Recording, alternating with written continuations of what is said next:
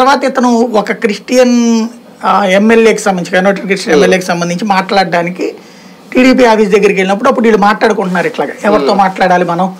ఏం చేయాలి? ఎట్లయినా తెచ్చుకోవాలని. ఎంత ఇస్తారని అడిగినప్పుడు లేదో నవ్వుకుంటా ఇట్లాగ ఒక ఐదు కోట్లు అంటే ఇట్లా నాకు తెలిసిన ఆయన ఉన్నాడు. ఎమ్మెల్యే. అని చెబుతూ నువ్వు మాట్లాడన్నారు.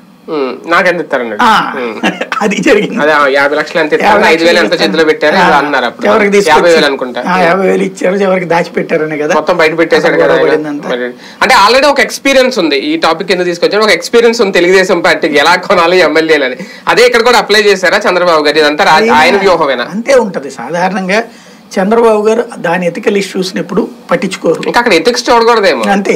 ఓటు వచ్చిందా లేదా? వెనకాల ఉన్నారు లేదా? అంతే. ఎన్టీ రామారావు అనే పార్టీ వ్యవస్థాపకుడు.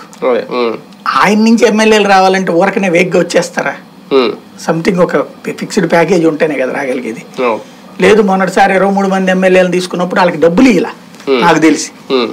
ఒక్కొక్క రాష్ట్ర ఒక్కొక్క జిల్లాలో ఈ పనులను రాసి ఇచ్చారు ఉమ్, ఒకళ్ళకి కాంట్రాక్ట్ అట్లాగే నలుగురికి మంత్రి పదవులు ఇచ్చారు. అప్పుడు ఏంటి ఆఫర్ వన్ ప్లస్ ఫోర్ నలుగురిని ఎంట పెట్టుకుని వస్తే ఒక మంత్రి పదవి. అట్లాగే నాలుగు నాలుగు పదహారు మంది వచ్చారు. వాళ్ళకి వచ్చినటువంటి వాళ్ళకేమో లోకల్గా కాంట్రాక్ట్లు. ఐదు వందల కోట్లు వెయ్యి కోట్లు కాంట్రాక్ట్లు.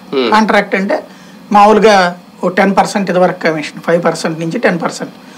తర్వాత ముప్పై శాతం దాకా వెళ్ళిపోయింది కాంట్రాక్ట్. అంటే వెయ్యి కోట్లు అంటే